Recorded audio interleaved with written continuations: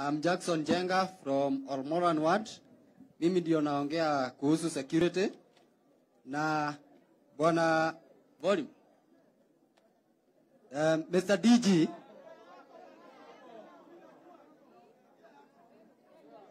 mimi naongea kuhusu security uko Ormoran, Githega, Sosian, watu wanauliwa kama mbuzi, hatuna mtetezi. Ng'ombe zikipigwa siku hii ingine, mnaona kesi kotini. Tunauliza, kwani sisi tuko upande gani? Viongozi wetu wamejaribu, wametupeleka mpaka huko kwa Haji, seneta wakaleta akina Wetangura, huyu Matiang'i wakakuja wakasema hawa watu wako na buduki za nguvu kuliko serikali. Tunauliza ni raia mgani anastahili kukaa na bunduki?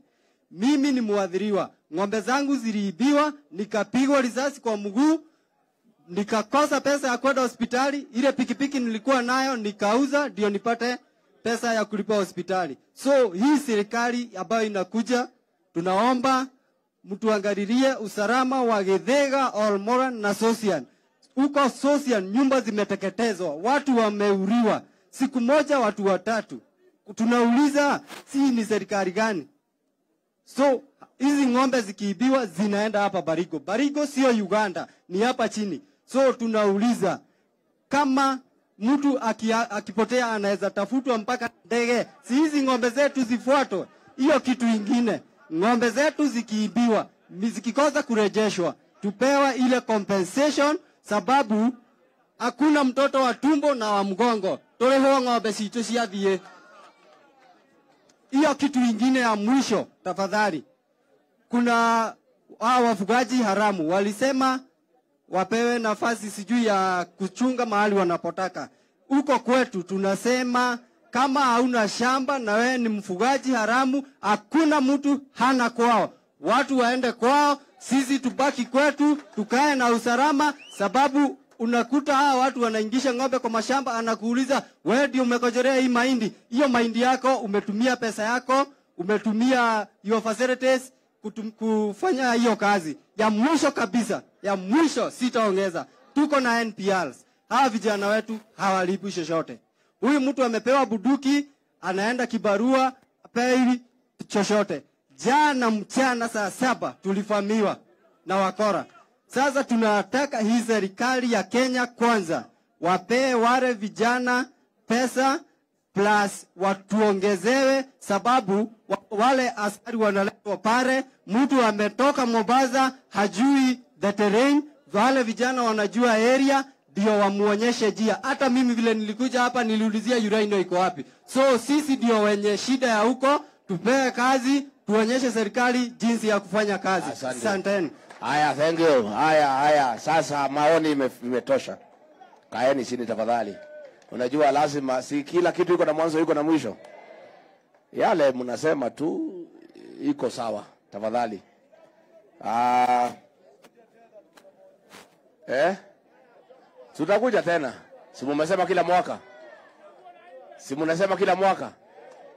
Sasa kwanza, kwanza tafadhali nishukuru wale wamenena na watu ya Laikipia. You know what you want. Si mnajua? Mlikuwa mnasema na mnatoa solution. So hakuna shida. Na hiyo kijana ameongea ati watu ya Laikipia mlikoza watetezi. Hapana, huyu senator amekuwa akitetea nyinyi mambo ya usalama. Hata mimi nimetetea nyinyi. Shida tulikuwa tunaongea na watu ni kama mawe, si ndio? Ile akina Matiang'i ni kama mawe, hata ukiongea wanajifanya wa hawasikii. Utetezi huyu Kenywa, he was calling me akiwa kila pahali kukiwa na shida, si ndio? Kwa hivyo upande ya viongozi kutetea watu ya Laikipia, tumekuwa na watu wanatetea watu ya Laikipia. Shida ni wale ni kama mawe na washughuliki na wana na haja. Hiyo taarifa Matiang'i alitoa kusema ati wakora ati wako na nguvu kuliko serikali. Hiyo sasa ni statement ya kutoa eh? Na juzi tumeona pale kwa Madaraka Day ile vifaro imepita pale mbele ya rais, simuliziona? Simuliziona? Si hizo vitu iko, hakuna shida. Shida because niliongea mambo ya usalama, kulikosa political will ya kusaidia watu ya Laikipia. Mambo ya NPR tutarudisha. NPR wale vetted wachache watakuwa vetted, wanafanya kazi because ya hiyo terrain. Wale wanaelewa, they work together with our officers. Na mambo ya Laikipia hakuna haja nitangaze hapa vile tutafanya, kwa sababu hiyo ni mambo ya usalama, si ndio? Mimi mwenyewe hiyo ndio kazi yangu. Mimi nilienda training, ninajua. Nilikuja hapo 1998 tukamaliza. Nilikuwa mtu mdogo dio nikamaliza ukora Laikipia. Sasa nikiwa deputy president anishinda, itanishinda. Silikutoa tu amri on what needs to be done. We must have a plan for Laikipia. Kwanza vijana tutafutie kazi, si ndio? Wale watakosa kazi tuwaongeleshe, wale wachache hawezi sikia, we deal with them. Si iko namna hiyo? Lakini solution, shule, pesa mfukoni, vijana wakuwe busy. Wale ambaye hawezi kubali, wanafikiria lazima waendelee kuiba ng'ombe na kuua watu, hawa tuko na askari ya kutosha, tuko na vifaa ya kutosha, and I want to disagree with Matiang'i. It's not possible. There is no way criminals can be more powerful than a government. It is not true. Hiyo ni, hiyo ni uongo. We have served in this government, we know. We know our capacity.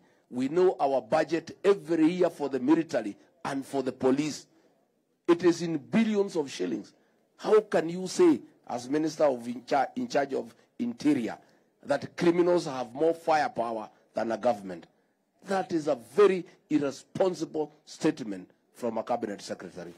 I want to assure the people of Laikipia and the people of Kenya that the government we are going to lead has enough capacity to deal with criminals conclusively so that people of Kenya can have peace. Tumekubaliana? Mambo ya usalama tafadhali mtuachie. Tumekubaliana? Let us say no more about it. We know what needs to be done. Yetu tu ni kutoa hakikisho ya kwamba kutakuwa na usalama Laikipia. That we have given that assurance. Tunajua what needs to be done. What was lacking was a political goodwill ya kulinda watu ya Laikipia wapate amani, na amani itapatikana Laikipia. So maoni yote mumetupea, tumejibu karibu yote. Iwapo unapenda habari nazokuletea, basi subscribe kwenye channel hii ili uwe unapata uhondo kila wakati. Shukran. Mnasikia juu ya Uhuru Kenyatta. Uhuru Kenyatta wakati alikuwa St.